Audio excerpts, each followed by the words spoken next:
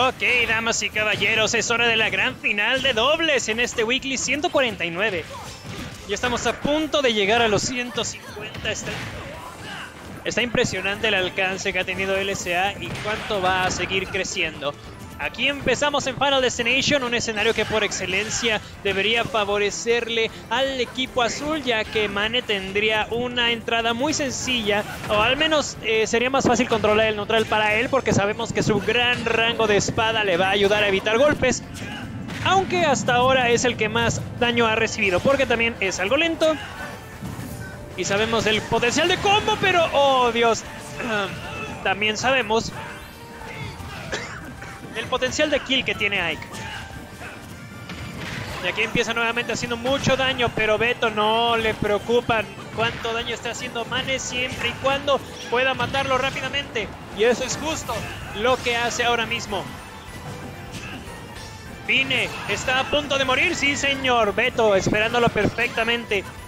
Y para tanto daño que ha recibido Mane en realidad ha sobrevivido durante ya un largo rato el que más daño ha recibido ahora en esa segunda vida es Peter, sin embargo, que sabemos que últimamente ha tenido la desventaja de ser gimpeado muchas veces, como que en Querétaro se empiezan a adaptar poco a poco a ese estilo de juego en contra de Terry. Sabemos que Terry no tiene el mejor recovery del mundo y lo explotan, ¡oh Dios! Pero lo que explota Beto es una bomba enfrente de Pine, o sea, justo en la cara se le explota y ¡ouch! Ahora el Power Geisa también le explota en la cara a Mane. Pero bueno, unas por otras, porque Peter ya pierde su segunda vida también. Sabemos de la explosividad de todos estos personajes y de verdad que verlos jugar, sobre todo en dobles, es una maravilla. Yo en particular disfruto mucho de Terry y sus, eh, sus especiales, su poder del Go, porque es una mecánica de combat de veras, de la que sí tienes que hacer inputs. No es solamente presionar abajo B como con Bayonetta y Witch Time y ya, ¿no? ¡Wow! Pero no, aquí Peter se arriesga. bueno, tenía que llegar al escenario de alguna manera u otra. Y más bien Mane y Pina estaban posicionados de forma excelente. Pero ahora con el throw... ¡Wow! ¿Qué trade fue ese? Parece que fue un forwarder en contra del side B de Mane. El caso es que Mane pierde su, eh, su segundo stock. Y parece que ahora los eslabones más débiles son Pineda y Beto, a quienes van a tener que buscar matar rápidamente. Yo diría que el equipo rojo tiene mucho más que ganar si matan a Pine, porque pues el equipo azul tiene buena sinergia. Eso, mero. Oh, podríamos tener un 1v1 aquí. ¡Oh, no! ¡Lo va a limpiar! ¡No! ¡Lo salva! Mane regresa y controla el stage, pero aquí vienen los combos tan tried and true. Los bread and butter de Peter y Beto, que tanto tiempo llevan haciendo equipo. Y no sé ustedes, pero yo he visto a Peter muy bien posicionado desde que agarró al buen Terry Bogard. ¿Eso será todo? No, no alcanza a golpear con el sweet spot. Pero aquí vienen otras, sí señor, la invencibilidad les ayuda. Y ahora Peter y Beto están un match arriba. Están con ventaja en la gran final. Y bueno, ahora tengo que despedirme porque me toca jugar singles. Los dejo con el buen aero.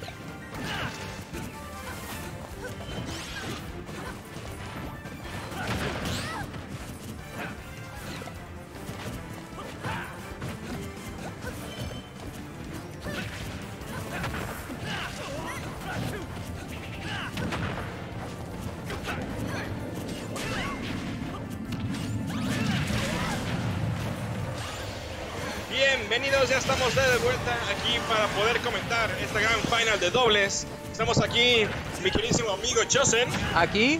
Y Airo, su servidor. Vamos a empezar a comentar este segundo encuentro aquí en dobles. Sí, ya se las abrita este Beth y Peter sorprendiéndonos llegando del lado de, de Winners esta vez. De se ve que han trabajado duro. Y Pine y Mane del lado de Losers.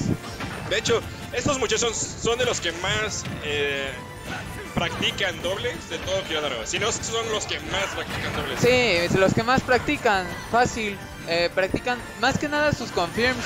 Ahí los puedes ver. Por ejemplo, el F Smash con el que ganaron la otra partida.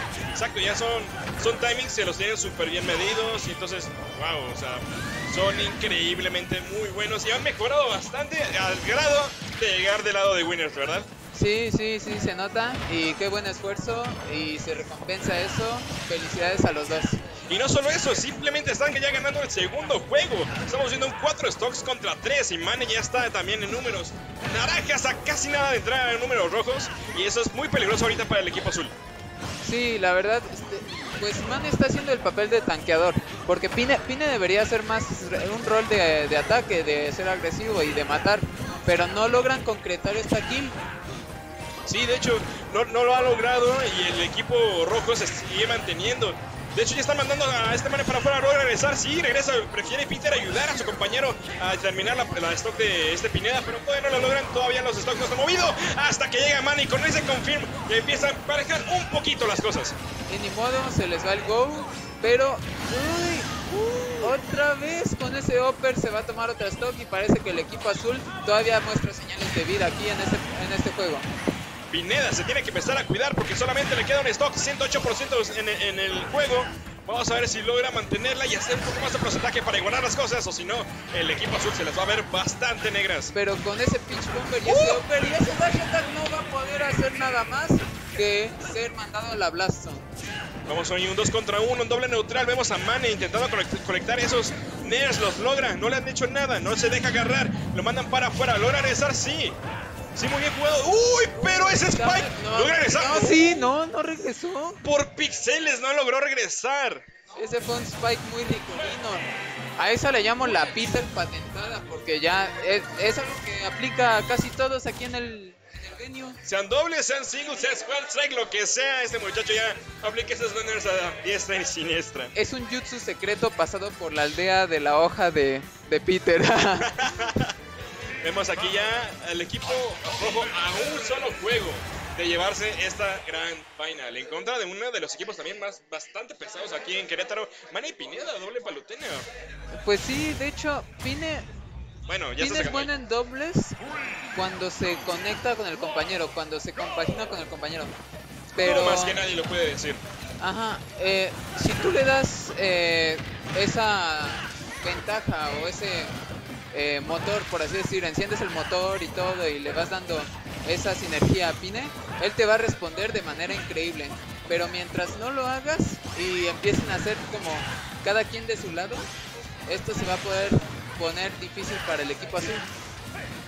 Sí, de hecho, ahorita estamos viendo que están agarrando un poquito más de control en el escenario. Llevan un poquito la ventaja, mandan a Beto para afuera, logra regresar. Y, pero este, uy, se equivocó Mane porque, bueno, le leyó bien ese Erdoch y con un Dones más casi se lleva el stock de Beto, se tiene que empezar a cuidar. Vimos ahí, Mane está reaccionando un poquito lento en este momento. Sí, de hecho está tratando de ponerse hacia donde va el throw de Palutena, pero no logra concretar. Y algo de las cosas que desespe- espera, desespera a Pine más es que no concretes. Exacto. Uy, Como, como compañero de equipo. se equivocaron. Yo pensaba que se había muerto este Mane, pero no. ¡Oh! ¿Viste eso? ¡Qué Va delicioso! A Backer. ¡Qué cerdo! Uy, y ese doble más es suficiente para empezar de nuevo a- al equipo azul mantener esa ventaja que tenían el- al principio del juego. Man está, está tanqueando como Dios en este momento. Sí. Solo 65% de su mano. Sí, lo que hace Mane en dobles es esperarse, no se acerca, te campea, es el tanque, o sea, Mane juega así dobles y no es que no es, no es que esté mal, nada más que eh, perdón, nada más que así se limita la posibilidad de hacer cosas en combo, en combo en equipo. Como lo podemos ver ahí, se mantuvo aislado y por eso Pine no tuvo el tiempo de rescatarlo.